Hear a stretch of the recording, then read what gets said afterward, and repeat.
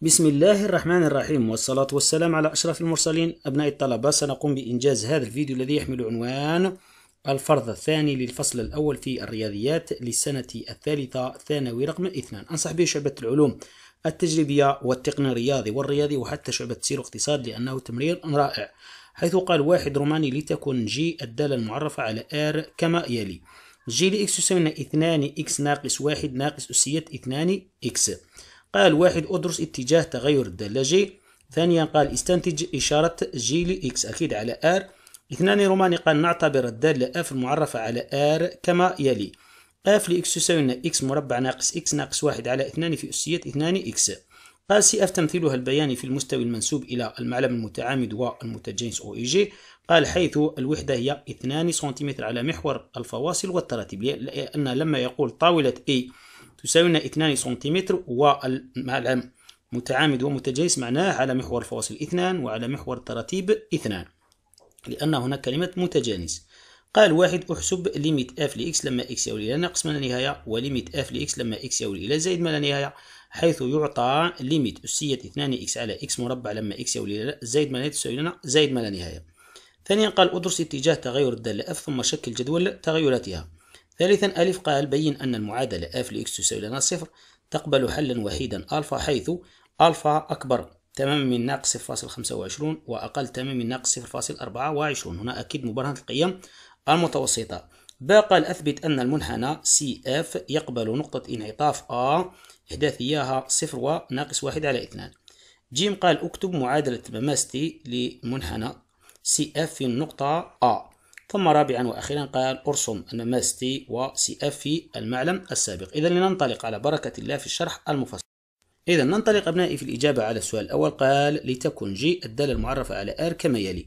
جي يساوي 2 إكس ناقص 1 ناقص أسية 2 إكس قال أدرس اتجاه تغير الدالة جي اذا نكتب هنا دراسة اتجاه تغير الدالة التي اسمها جي أولا نقول الدالة. جي قابلة للاشتقاق. على ماذا؟ على مجال تعريفها اللي هو R وتصبح لنا جي فتحة لإكس يساوي. لما نشتق اثنان إكس أكيد هي اثنان هكذا. ومشتق الناقص واحد أكيد هو صفر. ومشتق أسية اثنان إكس مشتقها ما هو؟ هو مشتق هذا الذي في الأس هو اثنان. في العبارة نعيد كتابتها. إذا تصبح لنا الناقص اثنان في أسية اثنان إكس. هذا فيما يخص يا أبنائي ماذا؟ ما يخص المشتق نقول الآن جي فتحة لإكس تساوي الصفر. أي ماذا؟ أي أنه اثنان ناقص اثنان في أسية اثنان إكس هي التي تساوي الصفر. ننقل هذا إلى هنا. تصبح لنا ناقص اثنان في أسية اثنان إكس يساوي لنا ناقص اثنان ومنه أسية اثنان إكس ماذا تساوي؟ تساوي لنا ناقص اثنان على ناقص اثنان أي أن أسية اثنان إكس تصبح لنا تساوي لنا كم؟ لما نختزل هذا مع هذا تساوي لنا واحد تساوي لنا قلنا ماذا؟ واحد والواحد معروف أنه هو أسية الصفر فيصبح لنا هذا يساوي هذا ما معناه؟ معناه اثنان إكس يساوي صفر ومنه إكس ماذا يساوي؟ يساوي لنا صفر على اثنان أي إكس يساوي لنا ماذا؟ الصفر. إذا أين تنعدم؟ هذه المشتقة؟ أكيد تنعدم عند الصفر. بعدها نعطي جدول جدول إشارة هذه المشتقة. لاحظوا به نعطي كلمة اتجاه التغير. ركزوا أرجوكم. هكذا. عندنا هكذا. عفوا. ها هي أمامكم. وانتبهوا أرجوكم كيف نستخرج الإشارة وبطريقة جد سليمة. لاحظوا. ها هي أمامكم ثم عندنا هكذا. وننطلق ونكتب هنا إكس من ناقص ما لا نهاية إلى الزائد ما لا نهاية. وعندنا ماذا؟ المشتقة. أين هي؟ ها هي المشتقة التي هي ناقص اثنان في أسية اثنان إكس ناقص اثنان. يعني وضعناه هنا مرتبة. يعني هذا ثم هذا. لكن هنا لا ننسى أنه عندنا لاحظوا عندنا هكذا عندنا زائد. عندنا عفوا لاحظوا أعتذر عندنا الناقص وهنا الزائد أعتذر وعندنا هنا زائد. يعني هذه ها هي أمامكم. الآن أين تنعدم هذه القيمة؟ وجدناها أنها تنعدم عند الصفر فنضع هنا الصفر هكذا ثم هنا هكذا. الآن كيف نعين الإشارة؟ دققوا كيف تعين إشارة هذه الأنواع من إذا قلنا أسية اثنان إكس هكذا اثنان هكذا ركزوا. ناقص اثنان في أسية اثنان إكس ثم عندنا زائد اثنان يساوي صفر. كيف تعين الإشارة؟ إشارة ركزوا هذا ضرب إشارة هذا. فتصبح لنا ماذا؟ تصبح لنا ناقص. فهنا نقول نفس في هذا المكان وهنا نقول عكس. أرجو قد فهمتم الفكرة. يعني كيف تعين إشارة العبارات هذه الأسية؟ إشارة هذا في إشارة هذا. هي تلك إشارة الأ التي نتحصل عليها. معناه نقول هنا ناقص وهنا زائد. وهنا أصبح لنا جي فتحة لإكس زائد ثم عندنا ناقص. لو كانت هنا مكتوبة هكذا زائد. هل نقول ها إشارة هذا في هذا؟ لا هذه قيمة تصبح لنا موجبة لأن هذا موجب وهذا موجب. يعني لا تنعدم أصلا. أما إذا جاءتنا العكس معناه موضوعها هكذا. موضوعة هكذا. فيصبح لنا زائد في زائد يصبح لنا ماذا؟ زائد ما نقول هنا نفس وهنا عكس. أرجو قد فهمتم الفكرة العامة لهذا الأمثلة. بعدها نكتب تلك الجمل اللغوية ونقول هكذا الدالة جي كيف هي؟ متزايدة تماما. على ماذا؟ على المجال الذي هو من ناقص ما لا نهاية إلى الصفر. وماذا؟ ومتناقصة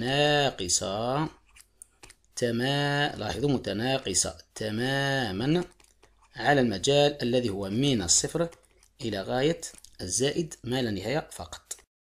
بعد ما أنهينا مع هذا السؤال نأتي الآن إلى سؤال آخر. قال استنتج إشارة جي لإكس إذا نكتب هنا أولا استنتاج إشارة ماذا؟ جي لإكس أكيد على ماذا؟ على R. دققوا. نستعين بجدول التغيرات. نقول جدول تغيرات ماذا؟ جي لاحظوا كيف تتم العملية بطريقة جد جد بسيطة. بدون أن نقوم بحساب النهايات لأن لا تهمنا النهايات. لاحظوا. إذا جئنا الآن إلى جدول تغيرات.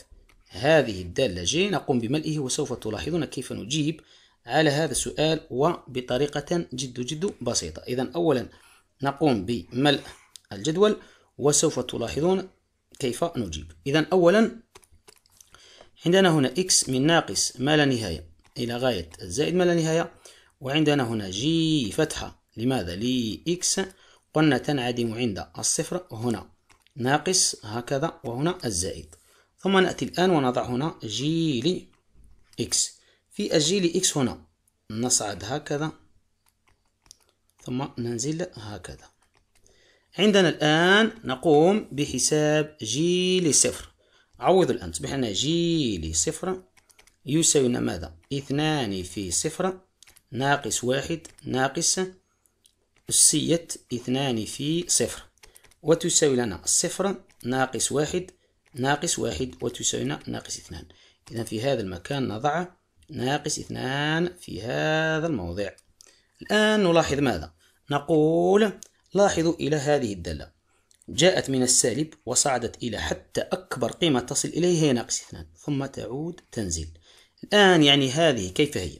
هذه سالبة وهذه سالبة نقول من جدول تغيرات الدالة جي نجد أن ماذا؟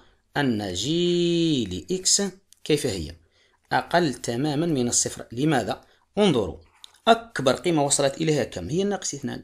فكل القيم التي تحت الناقص اثنان كيف تكون؟ تكون سالبة. فنقول من جدول تغيرات الدالة جي نجد أن جي لإكس سالبة تماما. لاحظتم؟ يعني أما هذا فيمكن أن نتخلى عنه مباشرة. أرجو قد فهمتم لهذا السؤال. إذا هذا السؤال لما يأتي استنتج إشارة جي لإكس عليكم أن تأتوا إلى جدول التغيرات دون أن تملأوا هنا النهايات. لا داعي لذكر النهايات. إنما هذه القيمة الحدية التي وصلت إليها أن الدالة متزايدة ثم متناقصة وعندها أكبر قيمة حدية تصل إليها. ناقص اثنان فكل قيمها تكون سالبة تماما فقط أبنائي. لأن هذه هنا نلاحظ أن جي يمكن أن نقول أن جي لإكس تساوي كم؟ أقل أو تساوي ناقص اثنان. كل قيمها وهذه بطبعها أقل تماما من الصفر. أرجو قد فهمتم الفكرة. يا أبنائي. الآن بعدما أنهينا مع هذا السؤال سوف نأتي الآن إلى الجزء الآخر. إذا بعدها نأتي الآن إلى الجزء الثاني الذي قال اثنان روماني. نعتبر الدالة f المعرفة على r كما يلي. F لإكس تساوي x مربع ناقص x ناقص واحد على اثنان في أسية اثنان x قال C f تمثيلها البياني في المعلم المتعامد والمتجانس وحدة الرسم هي 2 سنتيمتر على كل من المعلم من محور الفواصل ومحور التراتيب. قال أحسب limite f لإكس لما إكس يؤول إلى الناقص ما لا نهاية. اذا نكتب هنا اولا حساب النهايات.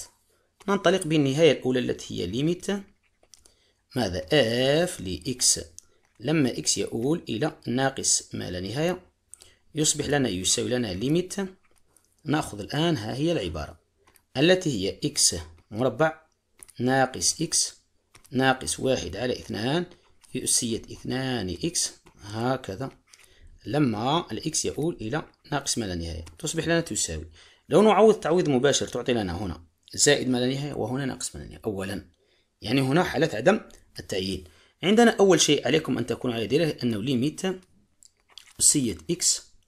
لما الإكس يؤول إلى الناقص ما لا نهاية هذه معروفة أنها صفر. إذا ما رأيكم أبنائي لو نستخرج بما أن هنا حدثت حالة عدم التعيين إلا في هذا المكان؟ نستخرج كيف؟ القاعدة بالعامل المشترك. فتصبح لنا هكذا. limite x مربع في واحد ناقص واحد على x. يعني هنا نستخرج الإكس مربع يترك لنا واحد. وهنا بما أن استخرجنا الإكس مربع فنخلفه في المقام. هنا لاحظوا جيدا حتى تفهموا الفكرة. ثم عندنا ناقص ماذا؟ واحد على اثنان في أسية اثنان عفوا قلت أسية اثنان إكس على عفوا على لاحظوا إذا قلت على x مربع إذا هنا عندنا x مربع هكذا. لما ال x يؤول إلى ناقص ما لا نهاية. الآن عندنا هذه تعطي لنا كم؟ تعطي لنا الصفر وهذه تعطي لنا الصفر تبقى لنا الماء زائد ما لا نهاية في واحد.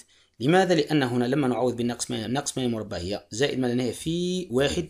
ماذا تعطي لنا؟ تعطي لنا زائد ما لا نهاية فقط. أرجو قد فهمتم الفكرة. الآن عندنا كذلك الآن عند الزائد ما لا نهاية تصبح لنا limite f ل x لما x يؤول إلى زائد ما لا نهاية تساوي لنا ماذا؟ limite x مربعة ناقص x دققوا جيدا ناقص واحد على اثنان في أسية اثنان x هكذا. لما ال x يؤول إلى زائد ما لا نهاية. لو نلاحظ جيدا هنا كذلك تعطينا زائد ما وهنا ناقص ما حالة عدم تعيين بنفس الطريقة نستخرج x مربع مشترك. يصبح لنا limite x مربع في واحد ناقص واحد على x ناقص واحد على اثنان. في أسية اثنان إكس على ماذا؟ على إكس مربع. لما إكس يؤول إلى زائد ما لا نهاية. لكن عندنا هذه انظروا كم تساوي تساوي لنا إذا هذه إنها قال إنها زائد ما لا نهاية كيف؟ هذا يذهب إلى ماذا؟ إلى الصفر وهذه تعطي لكم كم؟ زائد ما لا نهاية والناقص التي ضربت فيه ماذا تعطي لنا؟ إذا الناقص زائد أنا تعطي لنا هنا زائد ما لا نهاية وهنا تعطي لنا ماذا؟ تعطي لنا ناقص ما لا نهاية وبينهما مكفي فتعطي لنا ناقص ما لا نهاية أرجو قد فهمتم. كيف؟ هذا واحد لا تهتموا إليه. هنا تعطي لكم كم؟ صفر. وهذه أسية 2 إكس على إكس مربع قال تساوي زائد ما لا نهاية. زائد ما لا نهاية في الناقص. يصبح لنا ناقص ما لا نهاية. يعني هنا بالداخل كليا هنا بالداخل وجدنا ناقص ما لا نهاية. وهذا يعطي لنا زائد ما لا نهاية. الزائد ما لا نهاية في الناقص ما لا ماذا يعطي لنا؟ يعطي لنا ناقص ما لا نهاية. أرجو قد فهمتم الفكرة يا أبنائي. بعدما أنهينا مع هذا الجزء نأتي الآن إلى الجزء الآخر. قال ادرس اتجاه تغير الدالة F ثم شكل جدول تغيراتها. إذا نكتب هنا دراسة اتجاه تغير الدالة F F عفوا F على مجال التعريف على R. تصبح نقول الدالة F كيف هي؟ قابلة للاشتقاق على ماذا؟ على R و حيث تصبح لنا ماذا؟ تصبح لنا F فتحة لإكس يساوي مشتق هذه كم تعطينا؟ تعطينا اثنان إكس ثم مشتق هذا يعطي لنا كم؟ يعطي لنا ناقص واحد ثم ناقص واحد على اثنان ومشتق أسية اثنان x معروف أنها هي اثنان في أسية اثنان x أولا يذهب هذا مع هذا تصبح لنا ماذا؟ تصبح لنا اثنان x ناقص واحد ناقص أسية اثنان x وهذه إنها نفسها ماذا؟ إنها نفسها جيلي عفوا تساوي ماذا؟ تساوي g لي x نقول ومنه ماذا؟ ومنه إشارة f فتحة ل x من إشارة ماذا؟ g ل x أي ماذا؟ لاحظوا جيدا أي آه لد ولدينا نقول و لدينا من الجواب السابق أن ماذا؟ أن g ل x أقل تماما من الصفر أي f فتحة ل x أقل تماما من الصفر ومنه الدالة f كيف هي متناقصة تماما. على ماذا؟ على ر. بعدما أكملنا مع هذا نأتي أكيد إلى جدول تغيراتها. لاحظوا جيدا. إذا نأتي الآن إلى جدول تغيرات الدالة. إذا نكتب هنا جدول تغيرات الدالة F. لاحظوا هنا في جدول التغيرات نأتي إلى هذا الجدول. أمره جد بسيط. لاحظوا. هكذا وهكذا.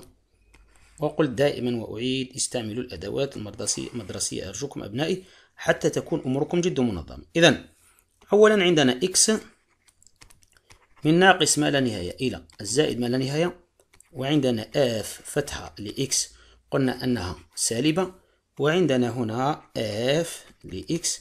إذا كيف هي؟ إنها هكذا. وجدنا النهايات أنه وجدنا هنا زائد ما لا نهاية وهنا وجدنا الناقص ما لا نهاية فقط أبنائي. بعد ما أنهينا مع هذا السؤال سوف نأتي إلى السؤال الثالث ألف.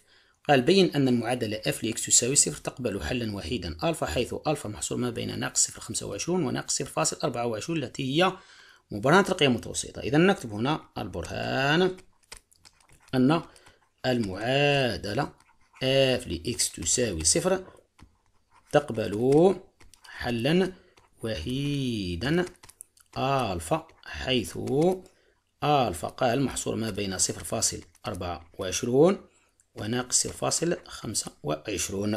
لاحظوا جيدا. إذا نكتبها بخط أوضح. إذا قلنا هكذا ناقص صفر فاصل خمسة وعشرون.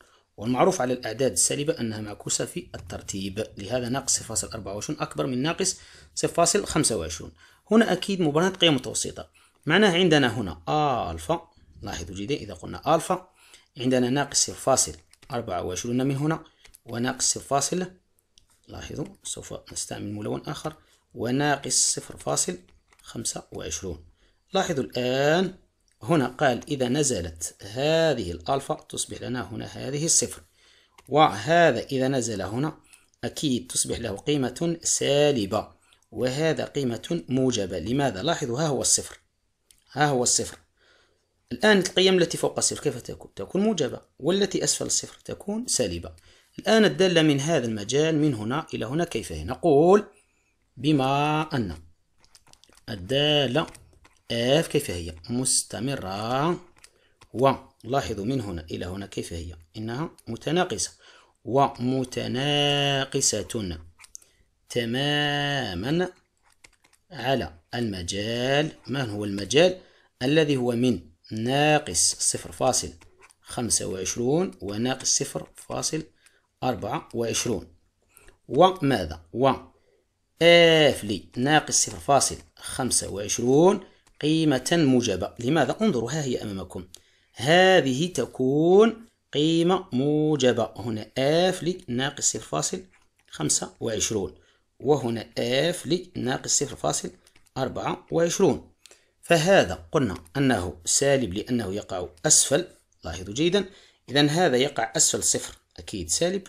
وهذا أكبر من الصفر. إنه موجب. أو نحسبها بالآلة الحاسبة و f لي ناقص صفر فاصل أربعة وعشرون أقل أكبر تماما عفوا عفوا أقل تماما من الصفر أعتذر. أقل تماما من الصفر انظروا. أو عوضوا هنا بناقص يمكن أن نقول نحسب f لي ناقص صفر فاصل خمسة وعشرون الذي يساوي ناقص صفر فاصل خمسة وعشرون الكل مربع. ناقص ناقص صفر فاصل خمسة وعشرون ثم ناقص واحد على اثنان في أسية ناقص ناقص صفر فاصل عفوا. اثنان في ناقص صفر فاصل خمسة وعشرون. هكا خمسة وعشرون. إذا هنا كذلك خمسة وعشرون.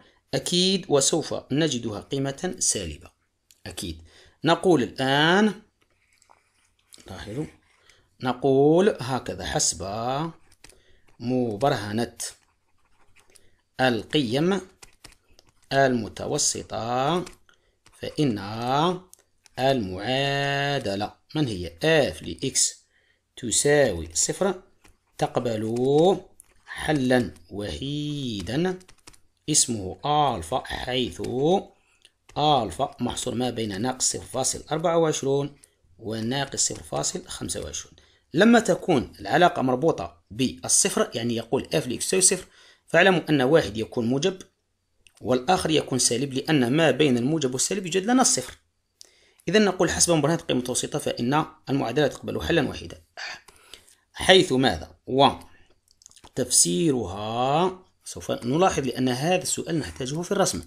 نقول والتفسير البياني لحل المعادلة لحل المعادلة f لإكس تساوي صفر هي فاصلة نقطة نقطة تقاطع ماذا؟ C f مع محور الفواصل هذا هو التفسير البياني لمبرهنة القيمة المتوسطة لما يتعلق الأمر ب f ل x تساوي صفر. دائما نقول هي فاصلة نقطة تقاطع المنحنى C f مع محور الفواصل لأن علينا أن نحترم هذا الشيء لما نقوم بعملية الرسم. بعدما أنهينا مع هذا السؤال نأتي الآن إلى سؤال باء قال باء أثبت أن المنحنى C f يقبل نقطة نقطة انعطاف أ إحداثيها صفر وناقص نصف. إذا نكتب هنا البرهان أن ماذا؟ أن أ نقطة ماذا؟ نقطة انعطاف. لمن؟ لي C f. نقول تكون أ نقطة. انعطاف لسي اف إذا تحقق الشرط. ما هو؟ المشتقة المشتقة الثانية. تنعدم وتغير إشارتها. هذا هو المعروف. ما معناه؟ معناه المشتقات المشتقة. أولا نقول لدينا. لدينا f فتحة ل x وجدناها أنها تساوي g ل x والدالة f فتحة قابلة للاشتقاق على ماذا؟ على R حيث تصبح لنا f فتحتين ل x تساوي لنا g فتحة ل x كيف؟ إذا وضعنا هنا فتحة نضيف هنا كذلك فتحة إذا قلت وضعنا هنا فتحتين نضع هنا يعني لاحظوا هنا يوجد لنا فتحة ونضيف فتحة إذا هنا نضيف فتحة حتى تفهموا جيدا إذا تصبح لنا ماذا؟ تصبح لنا f فتحتين ل x تساوي لنا g فتحة ل x و g فتحة ل x ما هي؟ ها هي g فتحة ل x يعني هذه القيمة نأتي بها ونضعها هنا. فتصبح لنا اثنان ناقص اثنان في أسية اثنان إكس. تساوي لنا الصفر. أي ماذا؟ اثنان قلنا. أي أنه ماذا؟ أي أنه إكس يصبح لنا يساوي الصفر. لأن قد درست إشارة ماذا؟ إشارة جي فتحة لإكس في ماذا؟ في الجزء الأول. ومنه ماذا؟ ومنه تصبح لنا أن نأتي بالجدول. دققوا حتى تعلموا أبنائي. هكذا. المشتقة الثانية تنعدم. ها هي أين انعدمت؟ انعدمت عند الصفر. ها هي المشتقة الثانية. ما معنى المشتقة الأولى التي هي تحدثنا عن الدالة جي الدالة جي أين ينعدم مشتقتها قلنا أنها تنعدم عند الصفر. ثم نأتي الآن. هكذا. وهكذا. انتبهوا أرجوكم حتى تتعلموا. هكذا وهكذا. فتصبح لنا هنا x ناقص ما لا نهاية زائد ما لا نهاية وهنا f فتحتين ل x. تنعدم عند الصفر نأتي به هنا من ناقص وهنا زائد لأن هذه هي هي التي نضعها هنا. لأن قلنا جي فتحة لإكس ها هي قيمتها هي اثنان ناقص اثنان في أسية اثنان. أين انعدمت؟ انعدمت عند الصفر. ونفس وقد درست إشارة الجي فتحة. إذا ها هو الجواب. الآن هل تحققت المشتقات الثانية؟ تنعدم؟ نعم ها هي انعدمت عند عند الصفر. وتغير إشارتها. هل غيرت؟ لاحظوا زائد ناقص. إذا نقول لاحظوا نأتي بهذه القيمة هنا. نقول ومنه هكذا ومنه النقطة A إحداثيها ماذا؟ صفر وناقص التي هي نفسها وآف لصفر حيث ماذا؟ حيث آف لصفر تساوي لنا ماذا؟ تساوي لنا ناقص واحد على اثنان يعني لما نعوض هنا بالصفر صفر صفر صفر تصبح لنا ناقص واحد على اثنان نكتب هنا واحد ناقص واحد على اثنان نقطة ماذا؟ نقطة انعطاف لمن؟ للمنحنى الذي اسمه سي إف. أرجو قد فهمتم. إذا نقول على نقطة انعطاف إذا كانت المشتقة الثانية تنعدم وتغير إشارتها حيث هذه المشتقة الثانية ظهرت هي المشتقة الأولى للدالة الأولى. وقد نقلنا نفس جدول إشارتها. لو نعود إلى هنا ها هو جدول إشارة الجي. يا أبنائي ها هو أمامكم. انظروا. الجي فتحة انظروا زائد ناقص نفسه. حتى تفهموا لماذا فعلت هذه بطريقة مختصرة دون أن نعيد الكرة مرة أخرى. بعدما أنهينا مع هذا السؤال سوف نتطرق الآن إلى السؤال الآخر. إذا نأتي الآن إلى السؤال الآخر قال اكتب معادلة المماس تي للمنحنى سي إف في النقطة أ. إذا هي نقطة الانعطاف إذا نكتب هنا كتابة معادلة المماس تي عند أ. حيث ماذا؟ حيث لاحظوا نقول حيث أ. إحداثيها الصفر والناقص واحد على اثنان. تصبح لنا إي يساوي لنا اف فتحة لصفر في إكس ناقص صفر زائد آف لصفر. الآن آف فتحة. نحن نملك أنه آف فتحة لإكس تساوي لنا جي لإكس. معناه وتساوي لنا كم؟ تساوي لنا اثنان إكس ناقص واحد ناقص أسية اثنان إكس تصبح لنا اف فتحة لصفر يساوي لنا ماذا؟ اثنان في صفر ناقص واحد ناقص أسية اثنان في صفر وتساوي لنا هذا يذهب إلى الصفر بحنا ناقص واحد ناقص واحد وتساوي لنا ناقص اثنان وعندنا اف لصفر يساوي لما نعوض اف لصفر قلنا وجدناها أنها ناقص واحد على اثنان هذا ماذا يعني؟ يعني أنه إيغراك يصبح لنا هذه نعوضها هنا فتصبح لنا ناقص اثنان في ماذا؟ في إكس وهذه نأتي بها ونضعها في هذا الموضع لما نضعه هنا ماذا تصبح؟ تصبح لنا ناقص واحد على اثنان هذه هي معادلة المماس الذي اسمه تي فقط أبنائي إذا بعدها أبنائي نأتي الآن إلى السؤال الرابع. قال أرسم تي وسي اف أولا قبل هذا قال المعلم المتعامد والمتجانس أو إي جي حيث الوحدة هي 2 سنتيمتر يعني من هنا إلى هنا 2 سنتيمتر ومن هنا إلى هنا 2 سنتيمتر. يعني إذا أتيت وقمت بتعيين هاته ها هو الشعاع الأول إذا سميناه إي وهذا الشعاع إذا سميناه جي. كلاهما كل واحد طولته 2 سنتيمتر من هنا إلى هنا 2 سنتيمتر.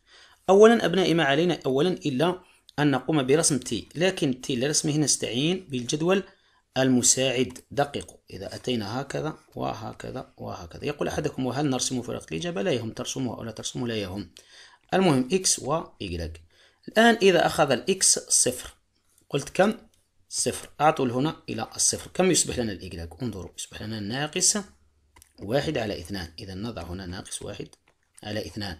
الآن إذا أخذ الإكس مثلا نصف نصف ماذا ينتج؟ يصبح لنا إيغراك لنا ناقص اثنان في واحد على اثنان ثم ناقص واحد على اثنان. يصبح لنا ناقص كم؟ ناقص ثلاثة على اثنان. ناقص ثلاثة على اثنان. النقطة الأولى صفر مع ناقص نصف. صفر مع ناقص نصف ها هي النقطة الأولى. النقطة الثانية نصف ها هو نصف مع ماذا؟ مع ناقص ثلاثة على اثنان اللي هي ناقص واحد والنصف ناقص واحد ونصف ها هي أمامكم. ثم الآن نأتي بعملية الربط ما بين النقطتين. هكذا أبنائي. لاحظوا جيدا. هكذا. من هنا ها هي أمامكم. هكذا. إنه ماذا؟ إنه المماس الذي اسمه تي هكذا. وعندنا ماذا؟ نقطة التماس. قلنا في هذا النقطة اللي هي نقطة الانعطاف. بعدها عندنا كذلك انظروا ألفا. ها هي ألفا. ألفا محصور ما بين ناقص صفر خمسة وعشرون ناقص أربعة وعشرون يعني في هذا الموضع. هنا تكون لنا في هذا الموضع تكون لنا قيمة ماذا؟ قيمة ألفا. حتى نفهم جيدا. الآن انظروا. جاء بجوار الزائد ما لا نهاية والزائد ما نهاية وذهب حيث عندنا هنا لما تنزل ألفا هكذا تصبح لنا كم؟ تصبح لنا صفر. معناه سوف يأتينا كيف؟ من هنا لاحظوا من هنا هكذا. دققوا جيدا. هكذا ويشمل هذه ويتوقف. ثم من هنا يخترق مرة أخرى.